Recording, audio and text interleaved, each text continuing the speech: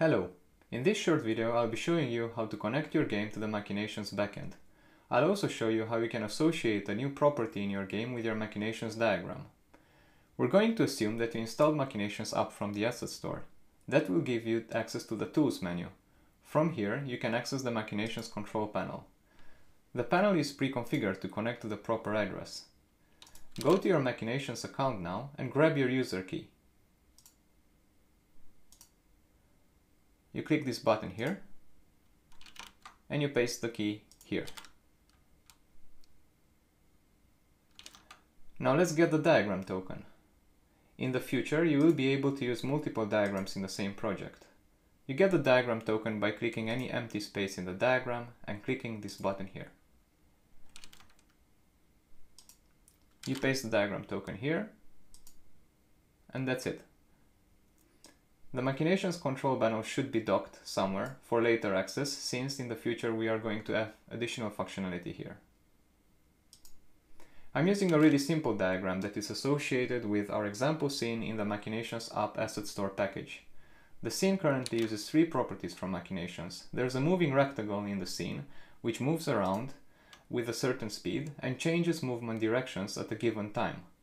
It can also be scaled on the x-axis. Now let's see if this syncs properly with machinations. Let's change the speed property.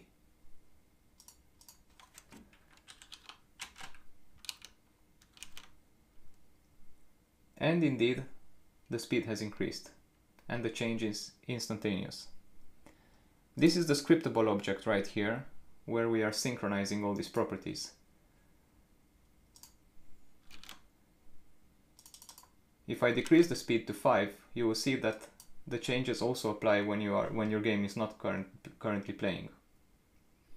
Now let's create a new property to sync.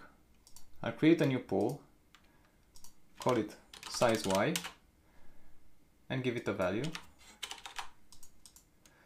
Now the ID here is very important, 201. And this is the code for the scriptable object. And here we'll employ some good old-fashioned copy pasting.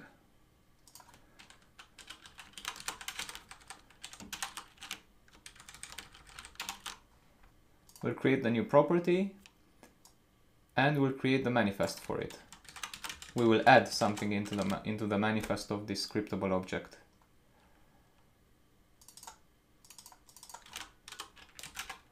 It's going to be size y and the new ID will be 201.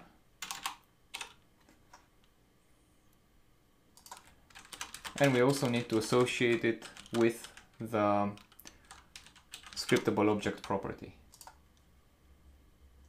And of course, we need to apply it in the object, in the rectangle.